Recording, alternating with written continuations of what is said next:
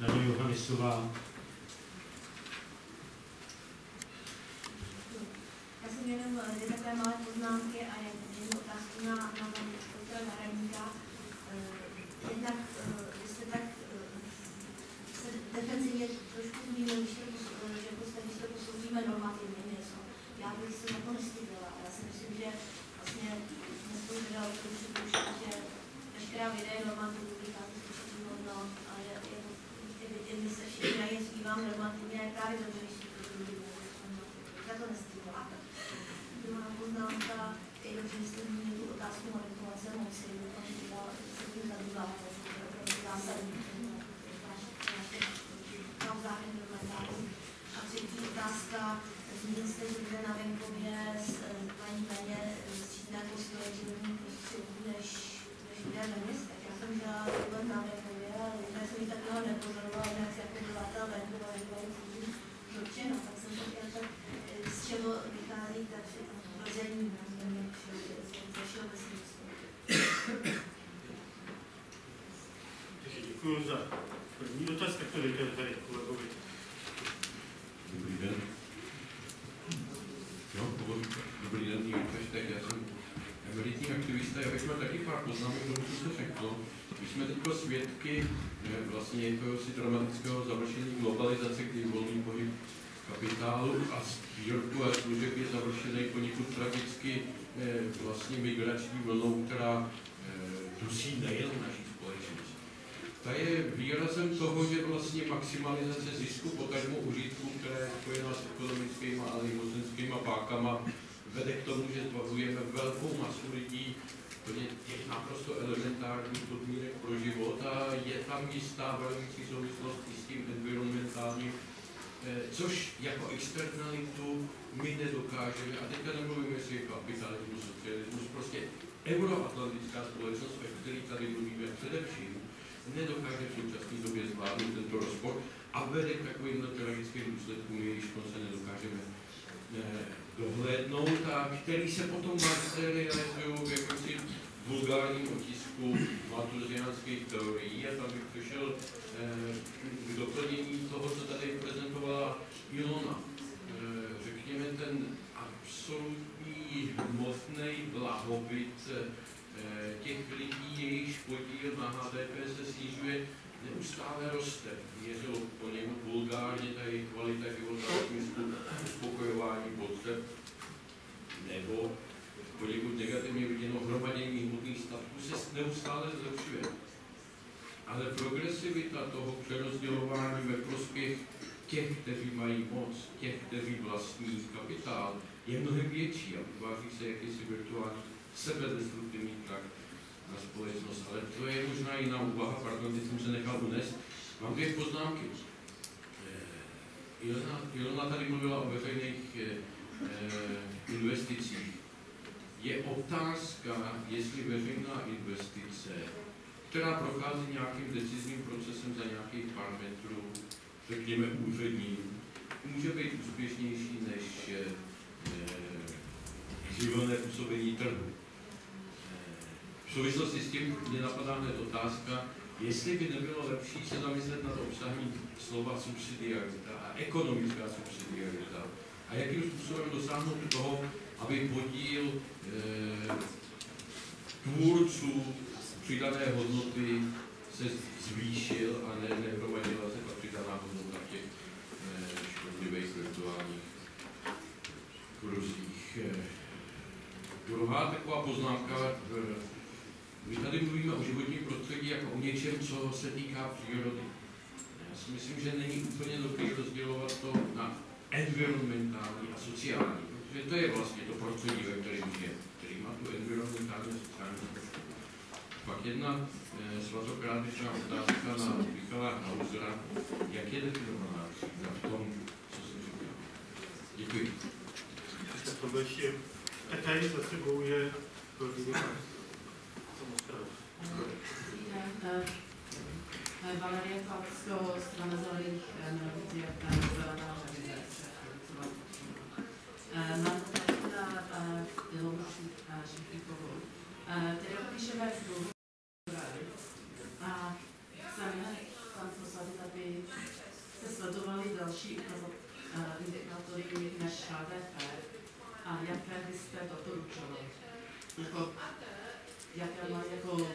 větší perspektivu. Tak tam tohle byl poslední dotaz. Dobře, ale můžeme opravdu poslední. Já souhlasím s tím, co tady paní docentka Šmejková řekla, jako je to přesně k tomu. Bohužel není potřeba nic jako dodávat v tom smyslu, že by to nebylo pravda. Já jenom se svým pohledem vždycky k tomu ještě si dodávám takové nějaké další otázky. Eh, Když se říká, že ekonomický růst dominuje, jak si tady v teorii, se říká dobře, tak eh, co zajímá průměrného člověka, který žije třeba u nás, jo? Zajímají ho nějaká třeba touha po vzdělávání, touha po měli dost času na rodinu, i za cenu toho, že nebudou mít tolik peněz, a nebo je zajímá, jestli si koupí druhý auto, nebo, nebo prostě známe, jo? tak to, to já si k tomu dodám. Pak jste říkala taky, no, zneužívání formou dobývání renty, zneužívání veřejných prostředků. Samozřejmě obrovská chyba. No, já si vzpomenu, když tady byly před 10-15 letech volby, tak si tak vzpomínám, co zajímalo naše voliče tehdy. Zajímalo je nějaký hezký knírek, klauzut nebo hezká kravata, nebo je zajímalo, byli natolik moudří, citliví a intuitivní, že si říkali, no, ty první náznaky toho, co se tady objevuje, to je děsa hrůza. Pryč, pryč od toho. No a tyhle lidi po deseti letech dostali ránu plackem do hlavy, že? Amnesty. Eh, Pak se třeba zmiňovala mm, nerovnost příjmu. Taky uvědomuji si, že to je velký problém, který do společnosti zanáší jako velkou, velké potíže. Ale zase, řeknu si, kdyby průměrný člověk, řekněme teda tady v Česku, najednou přišel k 20 milionů, tak si říkám, tak kolik z nich se zachovalo tak moudře, že by třeba část použil pro sebe, postavil by si nějaký jeden ekologický dům, část by dal na charitu, za další část by třeba vybudovali svůj nějaký vnitřní projekt, který je baví. A za zbytek by žili bez toho, aniž by se hodili za dalšími penězi. Aspoň minimálně nějakou dobu a měli tak čas nějaký vzdělávání, pokroky a, tak. Kolik z nich, kdyby bylo 10 lidí, tak si tak říkám, no tak jeden by se stal Weblerem, jeden by začal hamounit a chtěl by, aby z těch 20 milionů nej, nejpozději za rok bylo 40, eh, další by si koupil druhý dům jenom proto, aby se sousedy nevěřil, známe to, že je to nás a podobně. Takže tady k těm věcem, které jsou vždycky negativními stránkami společnosti, si já kladu ještě tyto otázky. A říkám si, které fázi má ten člověk právo na to, aby se tady ta negativa začala odstraňovat. No poté, až si uvědomí a začne s tím něco dělat, jak říkám, zejména u sebe. Že pak přijdou různé další inspirace a tak s tím. Takže a ještě jenom snad k tomu finančnímu systému, já se obávám, že když jsou tam nějaké pozitivní prvky, které se po té krizi objevují, tak sám nevím, jestli spíš převáží pořád ta destruktivní výnos, která tam je, ale v tom případě bohužel ten finanční systém plní té negativní energie, která je přes ty mafiánské struktury rozkrádání všechno dána, tak způsobí jenom jedno, že se prostě ten systém minimálně částečně položí, což samozřejmě si nepřeji, protože to způsobí ve společnosti obrovský otřes, ale bohužel tomu tak bude. Ale je pravda, že se objevují již nějaké pozitivní prvky, takže třeba tato varianta vypadá. Tamhle poslední a pak počkáme na tu druhý kolo, protože už je těch dotazů tolik, že by, eh, aby se na dostávali odpovědění. Já bych chtěla navázat trošku eh, tady nejdřív na pána vedle mě, že vlastně finance, co máme, tak to záleží, co s nimi uděláme na tom, jak umíme hospodařit. A to hospodaření, vím, že existuje že ekonomická gramotnost a takové různé kurzy. A já se zabývám vlastně z hlediska hygieny výživy světem, z hlediska praktické hygieny.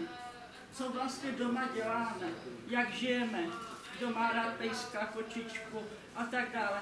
Tohle všechno nás ovlivňuje a jak hospodaříme se svým zdravím. A kdo z vás například zná, co je to zdravá stravovací pyramida? To jsme se učili v letech 95 a to dneska není na lékařské fakultě hygienické, dneska třetí, se tohle neučí. Tam jsou zjednodušený skripta. Tady není zájem ve společnosti o to, aby člověk byl zdravější, spokojenější, myslel ekolo- ekologicky. Tak to je jedna věc. Druhá věc, četla jsem od pana Vavrouška kdysi v knize, že se vymyslel rizí národní produkt v Americe americkými věci v 80. letech a nebyl prý prosazen. Pak vím, že existuje ten ISE, index trvale udržitelného blahobytu, z politiky pro trvalé udržitelný život. Tato kniha je zpracovaná k tomu. Na ministerstvu životního prostředí v knihovně leží. My jsme ji dostali na seminářích z Tušky společnosti pro trvalé udržitelný život. Tam je například napsáno pracovat 4 hodiny vize, aby jiní měli práci také a i lidé na sta- ve stacích, aby mohli hospodařit, aby jsme se vrátili k tomu, co je člověku nejbližší. Odcizování člověka přírodě, velký problém a všichni na něj narážíme v našem chování. Jsme podlivem médií a toho světa. Proto chci opravdu, eh, a zjistilo se, že je dobré vychovávat děti v těchto podmínkách. Děti jsou šťastní, když vidí hospodaření, když jsou na zahradě na poli. Protože výchova těch nejmenších, na to já nejvíc dám, že pro společnost budou nejvíc potřeba a tam je možné nejvíc ovlivňovat tento naše dění a jejich rodiče mladé. Skromnost je pojem udržitelnost, tak na to myslíme. Pan, Ban Ki, pan Kimon přes lidská práva na OSN řekl, že v Japonsku je cnost, když je žena skromná, nebo skromnost. Prosazujme to i my zatím, jak to jde. A pan Hauser třeba v radě České televize, protože jsem rád, že je jeden z těch, kteří dobře tam vystupují a můžeme také se jít podívat na jednání Rady České televize, jak se probírají výroční, schů, výroční schůze, výroční zprávy o různých směrech, o sportu, o dětských. Děkuju. Tak děkuji za dotazy. Nevím, jestli jste to zapsali, já pokud to bylo odpovězeno, tak ještě, uh, ještě na to pozoru, tak je prosím, začít dávat dotazy. Ano, proč? Jako první. Si dovol, eh, samozřejmě ta normativní věda, to je, to je jenom ještě tam ten dotaz, eh, s tím se potýkáme. Je, je to asi tak, že eh, není žádnou ostudu být angažovaným věcem. Ačkoliv se to v kraji u nás tolik nedost, ale je to docela normální na západ našich hranic. Ale potom je vždycky potřeba ještě usilovat, když mluví o tom, že žádná věda není, pardon, není zcela jsem jenom říct, že eh, není ostudu být angažovaný věcem, a- ale je do- dobré usilovat o maximální hodnotovou neutralitu té samotné metody. Aby bychom se neříkali to, co my chceme a ne- nedocházelo k výsledkům, které si předem řekneme, že chceme získat. I v tom je dobré vědět, proč to děláme, eh, proto jsem to zmínil, protože tady to přijde na tomto jako samozřejmé, že si posuníme například, jestli je dobrý dopady na životní prostředí nebo ne, tak eh, na jiném uh, jsem se setkal třeba s námitkou, že tam máme silný předpoklad, že je dobře, když se lidi mezi sebou dohodnou. No, tak třeba i tohle může být bráno jako normativní předpoklad, a to jsem to zmínil. tak jako tam. Pak jsem chtěl zmínit k, eh, k těm výzkumům, ne, nebo k tomu, proč jsou, eh, jak jsem zmiňoval, že ledinavé vody jsou častěji, eh, to se opírá asi o zřejmě nejrozšířenější ten výzkum eh, postojů či životního prostředí, kterému se říká to nové environmentální paradigma, eh, formuloval teda ve Spojených státech, tak je výzkum proběhla řada kvantitativních eh, procesů. Já neříkám, že ta metoda je ideální, eh, ale eh, těch dat tomu zhruba nejvíc. A tam jakoby standardně, jako standardně vychází, že eh, ženy mají přísnější postoj k životnímu prostředí než muži, ačkoliv ty vysvětlení můžou být jakékoliv, tak stejně tak vychází, že ti lidé z měst eh, vyjadřují víc, to, čemu se říká environmental concern, nebo obava, starost o životní prostředí, o ten stav planety, eh, prostě tomu tak je. Takže to, to není nic, co bych jakoby si myslel, ale co jsem myslel. Ono se záleží, jaký hodnoty, z jaký hodnoty vychází výzkumníci.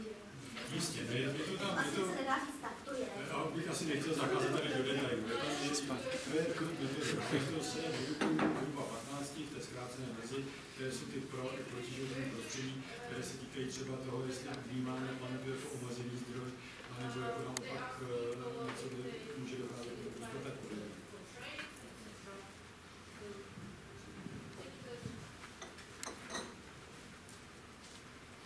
Tam byl jeden eh, dotaz tam na definici tří. Třídu definuju jednoduše otázkou. Máme co je hlavním zdrojem bohatství dané skupiny lidí. Pokud je těchto zdrojů více, tak se ptáme, co je hlavním zdrojem.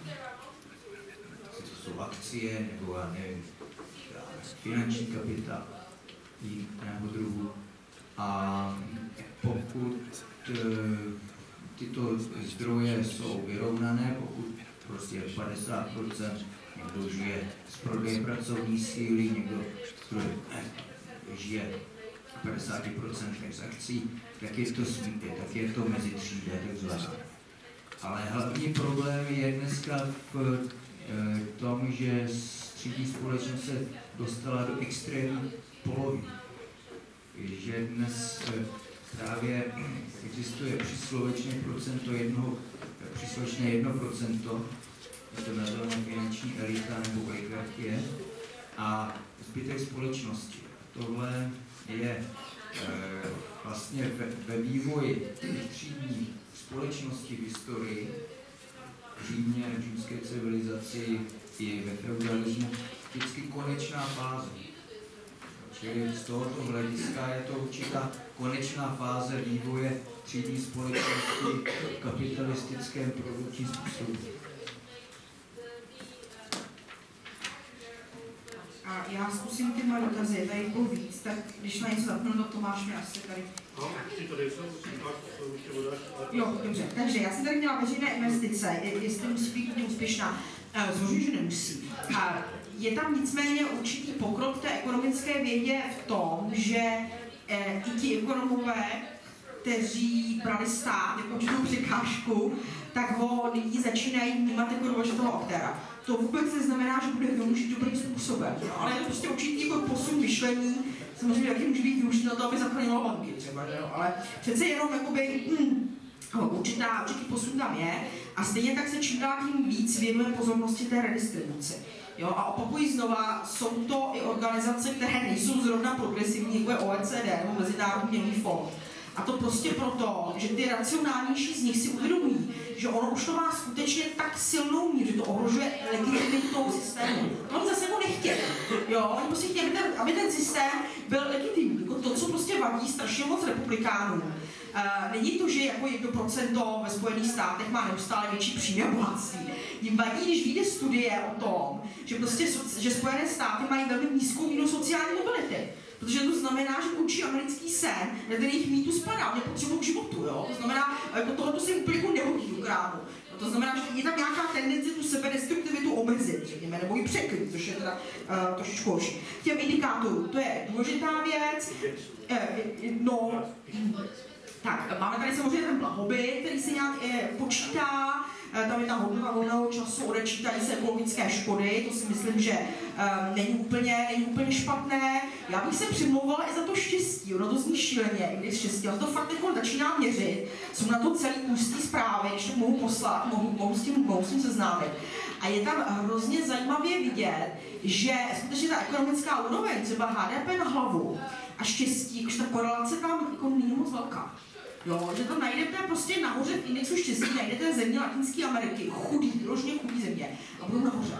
A naopak země strašně bohatý, jako třeba Singapur, úplně dole. Je to otázka potom stresu, pracovního vyčerpání, málo volného času podobně. Takže představa, že jakoby nutně bohatství, ano, u Skandinávie třeba to, to hraje roli, ale spíš se ukazuje, že prostě důležitý jsou sociální vztahy, možná i počasí bude hrát nějakou roli Latinské Ameriky. Jo, ale prostě, že to není automaticky štěstí, rovná se HDP na to fakt ne. Jo, takže to, to vám něco říká. K české společnosti bych zmínila jednu důležitou věc, která mi připadá důležitá i v tom, co tady zmiňoval Jirka. Um, a to je obrovská míra frustrace. Ne, nejenom tady, ale ve celé střední Evropě. Já jsem nedávno slyšela o výzkumu MMF, to vypadá, že mám ráda MMF, jo, ale to tam dělají zajímavé věci. A, a tam porovnávali zase skutečnou ekonomickou úroveň s tím, jak je pocitována. A ve střední Evropě, jsme V4, jo, ta disproporce byla největší. To znamená, ta ekonomická úroveň byla, řekněme, nějaká, jakoby, jo, a, ale toto její vnímání bylo mnohem horší. Jo, to naznačuje, že v té společnosti prostě je nějaký, je nějaký problém, jo? Tady asi potom bude mít i politické konsekvence, to je potřeba brát velice vážně. je, a pak ty další otázky stručně, co ty lidi, co lidé, co lidé chtějí, No, tak samozřejmě tam jako je nějaká míra, jakoby, nějaká míra blahobytu, ale opravdu se ukazuje, že ta korelace mezi penězi a štěstím není úplně tak automatická, respektive jenom, uh, jenom do určité, určité výše a ono často je potřeba mít tu speciální zkušenost. Jo, to znamená e, skutečně jakoby prožít si tu etapu a potom jakoby zjišťovat sami na sobě, jestli jako je fakt důležitý jako celý rok nevidět děti, aby bylo 14 dní u moře, anebo je lepší u toho moře nejet a být s těma dětma víc. Někdy ta volba ale není, protože prostě musíte pracovat, abyste vůbec se uživili, jo? Vlastně pracující chudoby třeba. E, jak se lidé chovají, víte, já bych už potom jakoby úplně nečekala, že když někdo přijde k velkým penězům, pokud to není výhra v loterii, že se bude chovat jako by bude určitých pozitivních vzorců. Protože ten problém je na té straně, jako, jak, jak vůbec přijde. Jak něm přijde a kdo k přijde. Jo, tyhle ty dva. Na tom vstupuje, potom, potom už je pozdě, jo, to řešit. Na tom vstupuje potřeba to. A ten současný problém skutečně ukazuje, že to 1% se odtrhává naprosto, eh, že ten jejich výdělek má podobu renty, což je samozřejmě otázka po tom feudálním systému, a stále více se ukazuje, že tihle lidé mají prostě psychopatické nastavení osobnosti. Jo, až to je výhoda. Prostě ten systém zvýhodně psychopat, když to úplně jednoduše. Jo, a to není jako žádný můj výmysl, my tohle pozorujeme. A pozor, máme i výzkumy u firem na tohle, to dělala Finská univerzita v Tampere, která se dívala na firmní chování a zjistila to tež. Neúspěšnější firmy se chovají sociopaticky. No. To, to, tohle je ten problém, jako, že potom už ty peníze má. A jestli je finanční systém stabilní, no, jako stabilní samozřejmě není a nemůže ani být. Já, já si taky jako úplně nepřeju ten kolaps, i když vám můžu říct, že čím dál tím víc skutečně ekonomů, to, to fakt nejsou progresivní lidi, jo? Třeba Martin Bowles, Financial Times, prostě nejsou ani, ani anarchisté, ani socialisté. A přesto od těchto lidí získáváte čím dál silnější kritiku toho systému, ale ku podivu i řadu zajímavých návrhů. Jo? To znamená, nějaký ten klasící eh, pohyb tady je, já možná ho zveličuju, samozřejmě ty zájmy jako tady jsou klíčové, ne ty ideje, ale přesto i v tak silně mocenský vědě, jako je ekonomie, k nějakým změnám trošku dochází. Takže máme, jsme tady ještě dva dotazy před uh, tím, než jsme to uzavřeli. Takže to budou poslední dva dotazy, které byly, to byla aby, aby je mi líto, a jako, už i to jako budeme trochu citovat, takže prosím. Já jsem se chtěla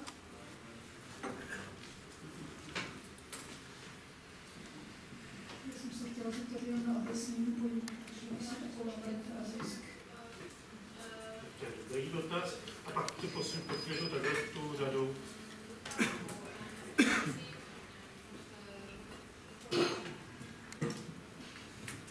Já jsem Luděk Krychetník. To není myšlené jako provokativní otázka. Spíš jako ti, kteří přednáší, paní Žilková a Houzen. Když říkáte studentům termín kapitalismu nebo komunismu, prostě systém, ekonomický systém, jak konkrétně to vysvětlíte? Co to ontologicky je? Rozklíčovat ten termín. Tak to jsou dvě otázky, které měly zaznít skoro na začátku té diskuze. Eh, zisk plyne z ekonomické činnosti a je, nebo byl, řekněme, převažujícím znakem kapitalismu. Renta se týkala dříve půdy, byla dominantním společenským přebytkem v rámci feudalismu. A dneska můžeme rentu velmi obecně charakterizovat jako nezasloužený příjem, to znamená jako příjem, který neodpovídá ekonomické aktivitě. A říkáme, z hlediska té čisté ekonomie se nám objevuje tehdy, když je nabídka určitého faktoru fixní, jo? Ta nabídka třeba.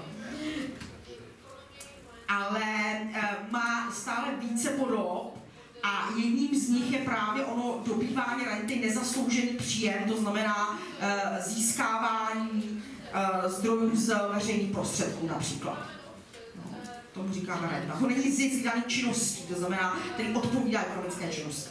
A e, k tomu kapitalismu, tak e, já ho vysvětlu samozřejmě v rámci ekonomie, e, jako systém, socioekonomický systém, který přichází po feudalismu, má určité hlavní znaky, což je právě dominance zisku, nájemní nebo námezní práce, a dominace soukromého vlastnictví s tím, že je tam základní, zásadní vliv technologií, to znamená, že kapitalismus jako dynamický systém, samozřejmě vyvíjí, nemá nevím vyvíjí se a je úzce vázán na uh, technologie. Jo? To je taková ta velmi hrubá, řekněme, školovecká definice, uh, se, kterou, uh, se kterou začínáme. Je pravda, že studenti většinou kapitalismus, já to nechám na nich, to definovat neumějí, a mají obrovský problém odlišit socioekonomický systém a politickou ideologii. To úplně splývá. Máme pocit, že, pocit, že demokracie a kapitalismus je to tež. Je to svobodčata. Jo, což se jako snažím vyvrátit, aby jako vnímali teda zatraceně ty rozdíly. Včetně samozřejmě toho, že eh, každý ten, eh, ten systém prostě má svůj začátek a má svůj konec. Kapitalismus už ani nemusím vysvětlovat, řeknu kapitalismus a většina studentů tento pojem chápe když třeba špatně, ale je ochotná ho užívat. Eh, jiné to je se slovem eh, komunismus. Eh, já první, co řeknu, takže to je společnost, která je emancipovaná od kapitálu. Kapitál není hlavní regulační mechanismus dané společnosti. Čili jako prostě emancipovanou společnost. A to potom, že Eh, samozřejmě vyvolává eh, řadu otázek u studentů. Změna je v tom, že o tomto slově již lze diskutovat i na českých vysokých školách, teda hovořím o vysokých školách humanitního zaměření. Ještě jenom malou poznámku. Eh, je zajímavé, že na těch ekonomických školách, aspoň co já znám, i na VŠE, se téměř pojem kapitalismus nevyskytuje. Tam se o kapitalismu skoro vůbec, jako Marx je úplně zakázaný slovo, ale o kapitalismu se vůbec téměř nehovoří. Pořád se používá ten speciální eufemismus tržní ekonomika. Jo, to samozřejmě vám krásně zakrývá to hlavní zájmy. Politickou ekonomii. Dokonce politická ekonomie se u nás taky neučí, je taky tabu, prostě zakázaný slovo.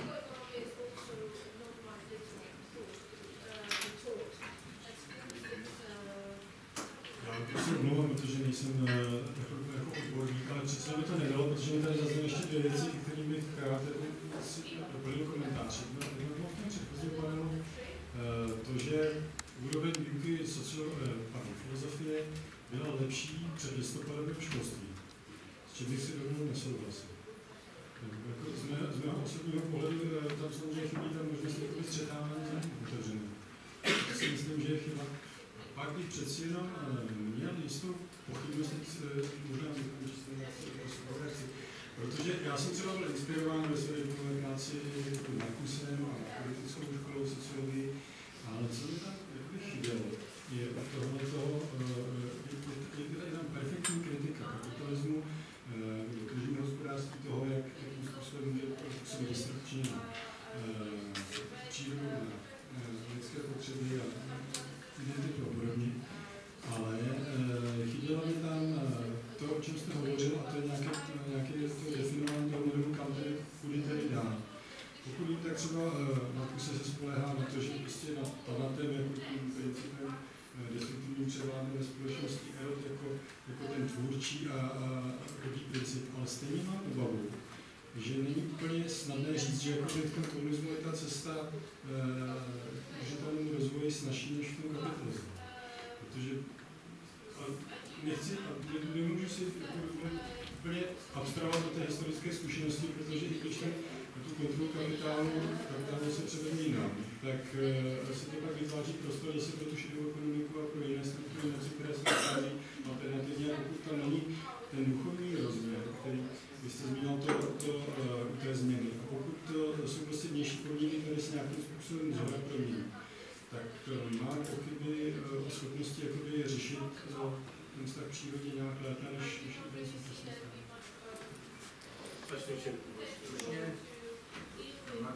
hovoří jako filozof na nejobecnější úrovni. Dnes eh, spíše eh, jiná věc, to, že existují různé modely postkapitalistické ekonomiky, jo, které rozvíjejí celkem podrobně, jak to udělat. Jo, to, to, Hanel, Albert, další a některé knihy vyšly česky, Schweikert a mm, já prostě se přikláním k modelu, eh, který obsahuje prostě to inteligentní a demokratické plánování i z toho důvodu, aby ekologická krize mm, byla řešitelná na globální úrovni. To je model, který eh, představuje Kopšot a Kotrel v knize Kyber, Kybersocialismus, který vyšel také česky.